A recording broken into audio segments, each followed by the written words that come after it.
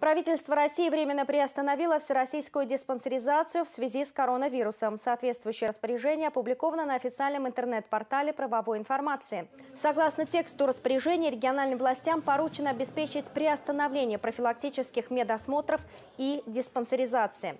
Также федеральные и территориальные фонды ОМС, страховые медорганизации и Росздравнадзор должны обеспечить информирование населения о приостановлении проведения диспансеризации. Утром в понедельник понедельник, 23 марта, глава правительства на совещании с вице-премьерами сообщил, что количество подтвержденных заражений коронавирусом в России увеличилось на 71 человека и составило 438. Там же были объявлены новые меры, которые правительство намерено предпринять для борьбы с распространением инфекции и ликвидации ее последствий.